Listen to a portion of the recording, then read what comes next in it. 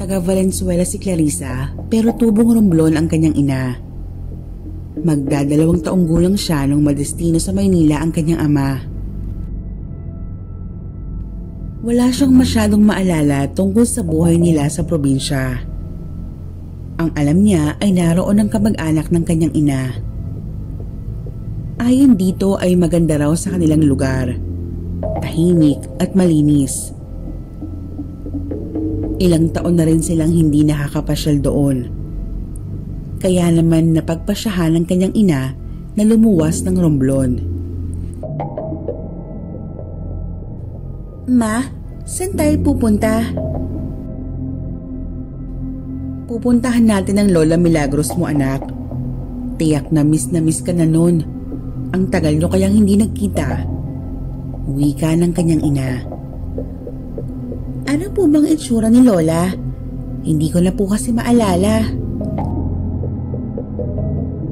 Bata ka pa kasi noon, Clarissa. Hamo, kapag nakita mo ang lola mo, Huwag mong kalimutang mag-bless agad ah. Hindi sumama ang tatay ni Clarissa dahil naka-duty ito sa trabaho. Araw ng Martes nang umalis sila papuntang Romblon. Dahil sa haba ng biyahe ay nakatulog na si Clarissa sa balikat ng kanyang ina. Clarissa anak, gising na. Nahangiting wika ng kanyang ina. Andito na tayo. Sumalubong sa kanya ang hampas ng sariwa at malamig na hangin. Pakiramdam niya ay nasa ibang bansa sila dahil malayo ito sa kanyang lugar na kinalakhan. Bumiyahe pa sila ng higit kumulang isang oras bago narating ang barangay Agnagwa. Sa wakas ay narating nila ang isang malaki ngunit antigong bahay. Nadat na nilang nagsisiga ang isang matandang nakasuot ng pulang bulaklaking duster. May maliit itong tabakong nakasalpak sa bibig nito.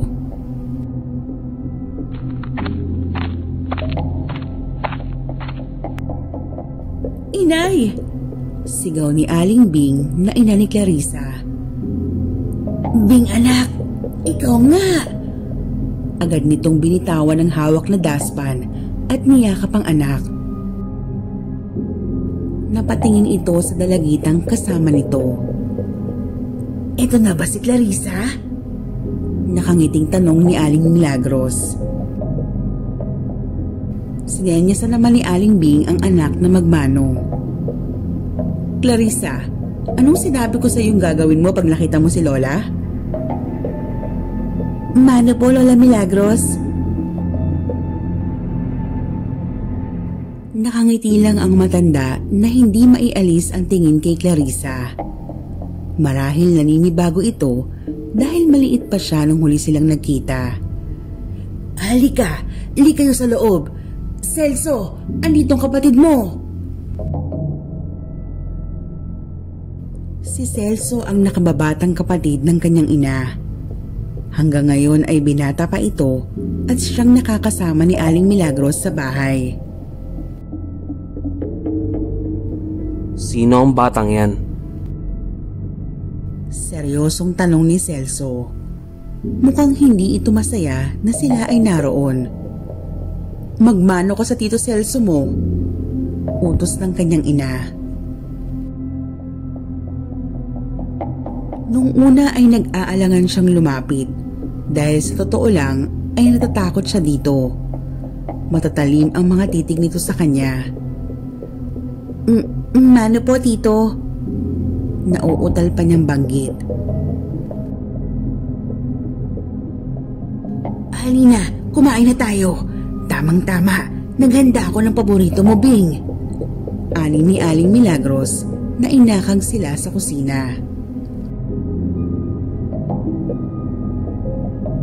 Habang naghahanda ang mga matatanda, ay naiwan naman si Clarissa sa may.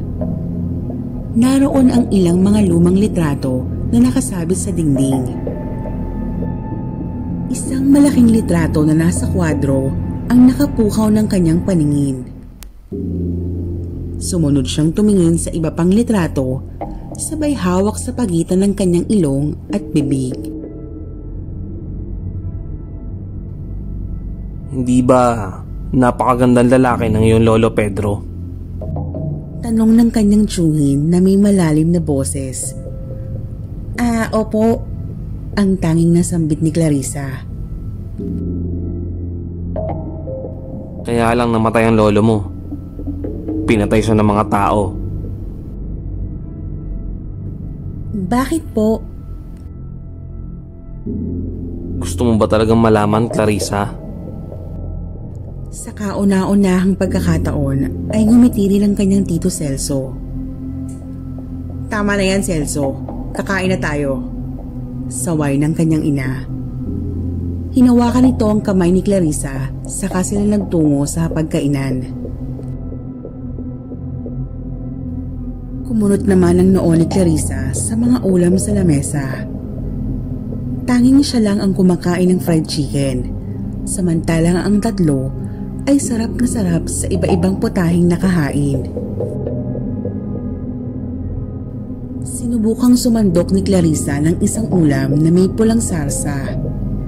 Pero agad siyang tinapik ng kanyang ina. Bakit? Gusto mo ba niyan, iha? Mukhang masarap, hindi ba? Tanong ni Aling Milagros na may malawak ng ngiti. Nay naman, hindi pa pwede si Clarissa dyan. Nakasimangot ng wika ni Bing. Bakit ma? Basta, kumain ka na lang. Ubusin mo yung nasa plato mo. Maraming tao ngayon na nagugutom, kaya masamang magtapon ng pagkain. Sa kanilang unang gabi sa lumang bahay, ay hindi naman nakatulog si Clarissa. Sumilip siya sa bintana, saka nagmuni-muni. Muli nitong hinawakan ang pagitan ng kanyang ilong at labi. Tinignan niya ang kanyang ina, parehas naman silang may guhit doon.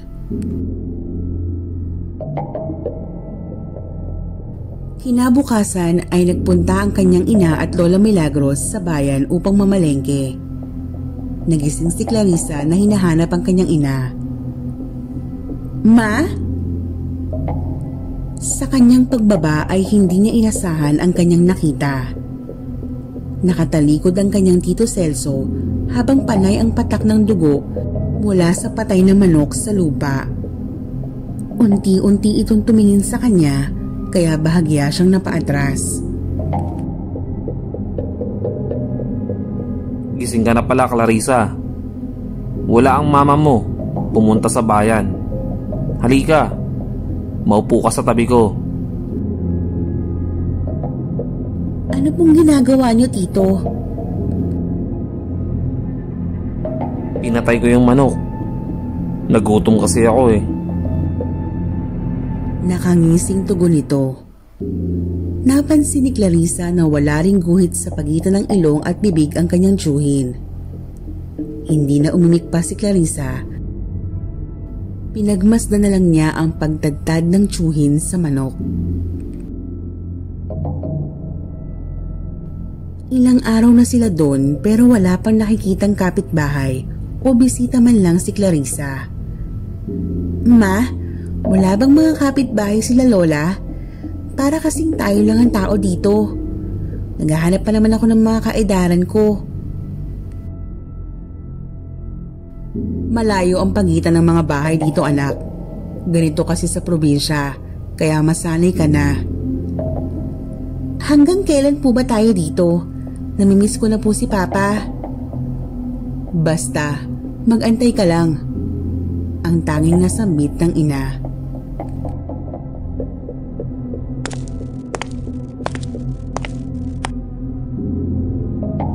Kararating nyo lang, nagmamadali ka na umuwi. Bakit apo? Gusto mo na ba ulit iwan ng lola? Sasagot na sana si Clarissa nang mapansin din niya na wala ring guhit sa pagitan ng ilong at bibig nito. Oh, bakit ganyan ka makatingin apo? May dumi ba sa mukha ang lola? Wala po.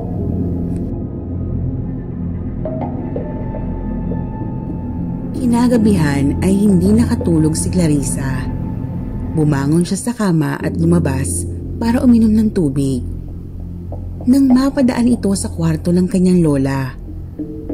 Nakabukas ng bahagya ang pinto at nanlaki ang kanyang mga mata sa nakita. Puno ng langis ang katawan nito at maya-maya pa, bigla itong nag-iba ng anyo. Napakapangit nito, malayong malayo sa Lola Milagros na nakilala niya. Sa takot ay nagmamadali itong bumalik sa kwarto sa kakinandado ang pinto. Kinising niya ang kanyang ina. Ma, gising! Kailangan nating umalis dito, ma! Bakit, Clarissa? Anong nangyari? Ma, aswang si Lola Milagros. Kakainin niya tayo. Saglit na natigilan si Bing pero agad namang nakabawi. Ano bang sinasabi mo anak? Nananaginip ka lang. Sigurado ako sa nakita ko ma. Aswang si Lola Milagros. Aswang siya. Kaya pala yung mga nakalagay sa litrato ay walang guhit sa pagitan ng ilong at bibig. Pati si Lola Milagros at si Tio Celso. Ano ka ba, Clarissa? Wala ka ng respeto. Walang aalis dahil walang aswang. Maliwanag ba? Humiga ka na at matulog. Galit na wika ng kanyang ina. Alam niyang labis ang pagkamuhi nito sa kanyang sinabi. Pero sigurado siya sa kanyang nakita. Kailangan niya lang ng ebidensya. Kailangan niyang patunayan sa kanyang ina na aswang si Lola Milagros niya.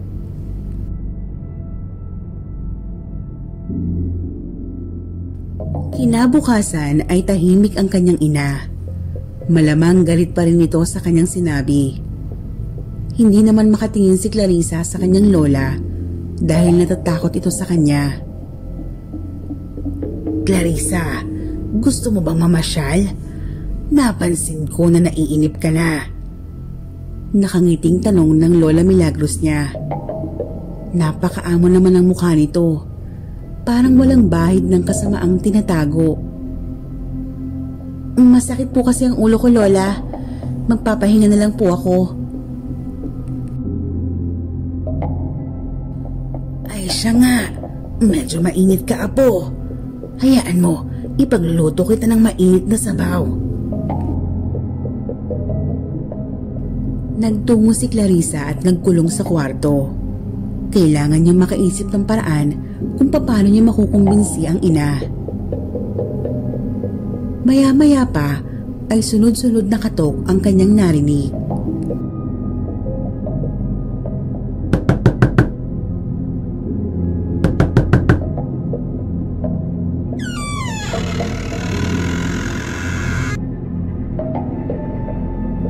Oh, heto ang sabaw, iha. May hinalo akong laman dyan para lumakas ka. Higupin mo na hanggat mainit pa. Tinignan niya ang laman ng mangkok. Hindi niya alam baka may kung anong hinalo doon ng lola niyang aswang. Hindi naman ito umalis kaya napilitan siyang sumubo. Nagpanggap na lang siyang nasusuka at nagtungo sa banyo. Doon ay iniluwa niya lahat ang kanyang kinain. Pasensya na po, Lola. Wala po akong ganang kumain. Maraming salamat po sa sabaw. O siya, sige. Magpahinga ka na lang. Sabihan mo ko kapag nagugutom ka na. Nag-antay si Clarissa ng pagkakataon. Tama, huhulihin niya ulit mamayang gabi ang kanyang Lola Milagros.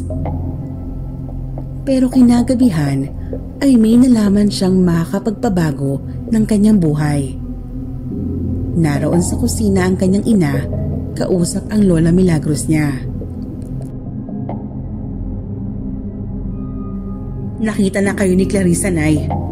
Alam na niya ang sikreto ng pamilya natin. Sa tingin ko ay kailangan na rin niyang malaman.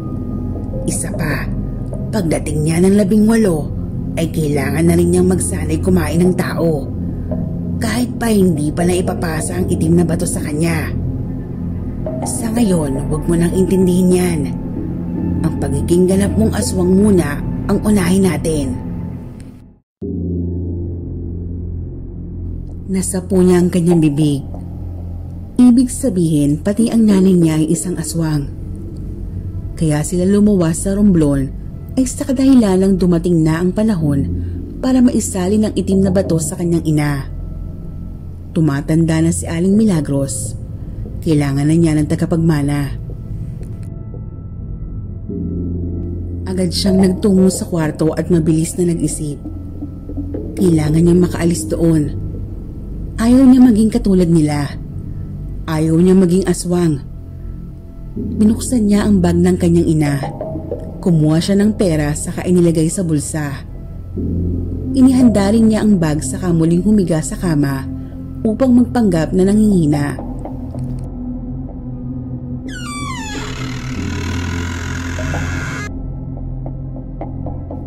Kamusta na ang pakiramdam mo, Apo? Pupunta kami sa bukid ng iyong ina. Baka gusto mo sumama. Gabi na po, Lola. Hindi ba delikado? Alam mo, mas masarap kasing lumabas ng gantong oras. O siya, magpahinga ka na lang at dadalhan ka na lang namin ng pasalubong.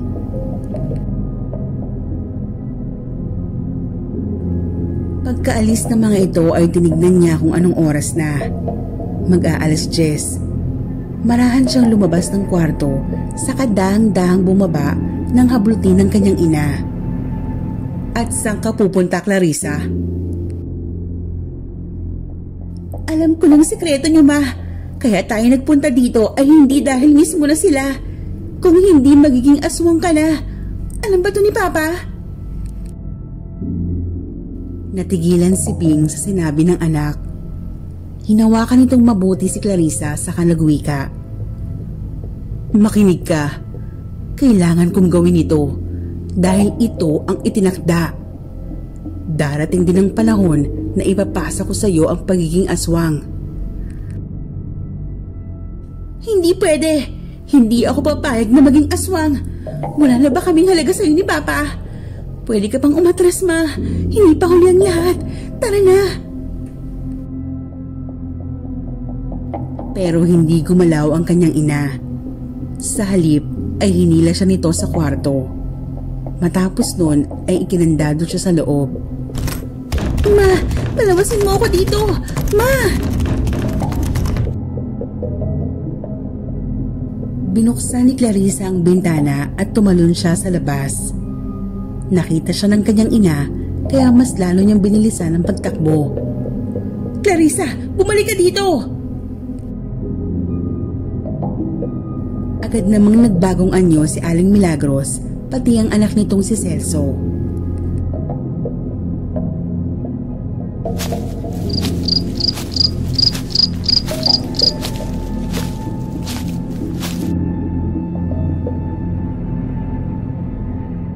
Hinihingal na nagtago si Clarissa sa may ilalim ng puno. Ilang sandali pa ay may lumitaw sa kanyang harapan. Ang kanyang tito Celso.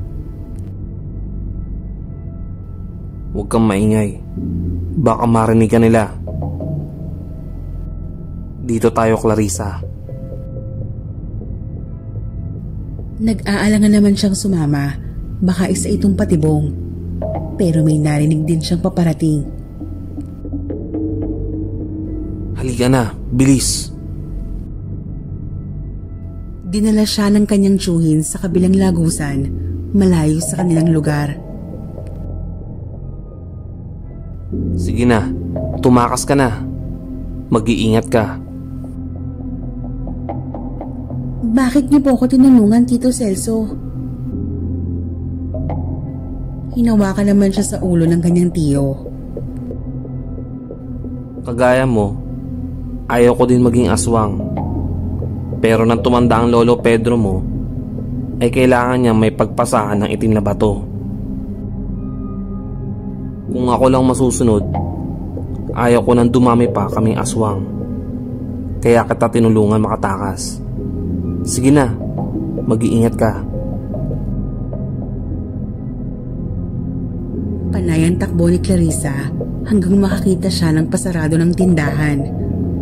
Pwede po bang makitawag? Importante lang po. Tinawagan niya ang kanyang ama at nagpasundo. Samantalang nagbalik naman si Celso sa kanila at sinabing hindi nakita si Clarissa. Matapos ang ilang araw, ay nagtangkang bumalik sa Valenzuela si Bing. Pero hindi na doon nakatira ang kanyang mag-ama.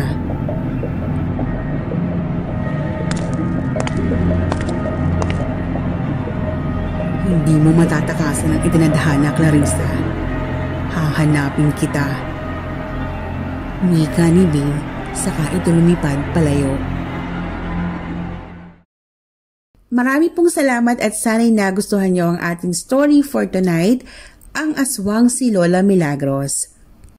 Sa mga hindi pa po nakakapakinig ng pagbabalik ni Saduj sa ating second channel, Laguni Haunted Files, kapag may time po kayo, sana po ay makabisita po kayo. Ayan, episode 5 na po siya. Ongoing po ang ating series dito sa Guni-Guni PH, ang Aswang Pizza, and ang Ang Palengke ng Mga Aswang Season 3. May mga short story po tayo, mga aswang story and paranormal stories or multo stories na pasingit-singit po nating ina-upload. And also yung story ni Emily Ivanov din na El Beleza Paraiso. Sana po ay masuportahan nyo and sana po ma-enjoy nyo po yung bawat stories po natin dito po sa Guni-Guni PH and Guni Haunted Files.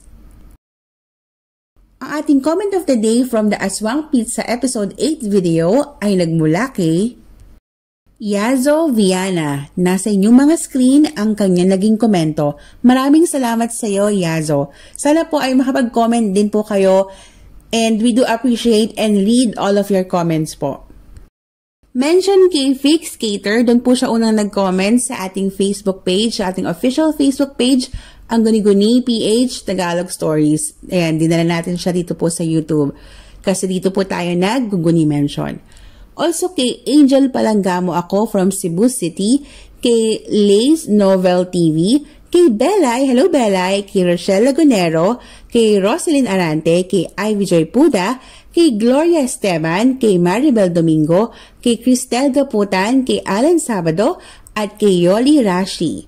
Ayan. Marami pong salamat sa inyong suporta and kung hindi ka pa nakasubscribe sa ating channel, channels, don't forget to click the subscribe button and hit that notification bell on para updated ka sa bawat story upload. Muli maraming salamat on behalf of Mysterio. Kita-kits po tayo sa next video. Good night and God bless.